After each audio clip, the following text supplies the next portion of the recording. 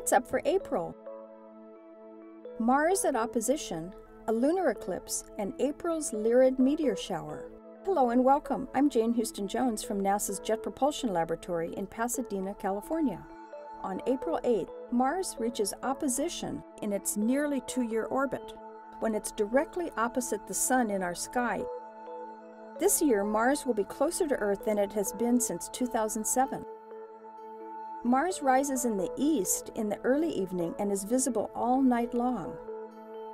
The viewing will be best a little after midnight when the red planet reaches its highest elevation. Some of the famous dark markings and possibly the polar cap will be visible, even in a small telescope. The next Mars oppositions happen in 2016 and 2018, when Mars will be even closer to the Earth and will appear even more impressive in the telescope. Mars spacecraft launches always happen roughly two years apart, a few months before opposition. Because both Earth and Mars are moving in space, we don't aim our spacecraft at where Mars is at launch. Instead, our spacecraft's elliptical orbit takes it to where Mars will be at the end of its seven or eight month journey. InSight, NASA's next Mars mission, launches in 2016 to study the deep interior of Mars and help understand the processes that shape the rocky planets of the inner solar system more than 4 billion years ago, including Earth. By using sophisticated geophysical instruments, InSight will measure the planet's vital signs, its pulse, temperature, and reflexes.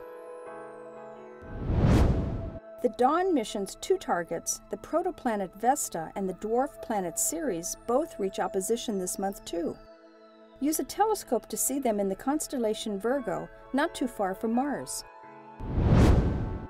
A lunar eclipse will be visible to everyone in North and South America and the Pacific on April 14th and 15th.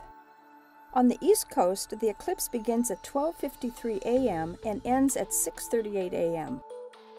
If you just want to catch the total eclipse, set your alarm clock for 3 a.m. on the East Coast and midnight on the West Coast. The total eclipse will last an hour and a half from beginning to end. Look for the familiar constellation Lyra rising in the northeast at 10 p.m. It'll be high overhead by 4 a.m. This month's Lyrid meteor shower peaks on the nights of April 22nd and the morning of April 23rd but you'll spot some Lyrids any night between the 16th and the 25th. The peak rate is expected to be 15 to 20 meteors per hour. The third quarter moon rises an hour past midnight, brightening the sky, but the moon will only obscure the fainter meteors. Luckily, the Lyrids are known to produce bright meteors, many with persistent trains. If you're under a dark sky, you can't miss the beautiful River of Stars near Lyra, a spiral arm of our Milky Way galaxy. You can learn about NASA's Mars exploration missions and all of NASA's missions at www.nasa.gov. That's all for this month. I'm Jane Houston Jones.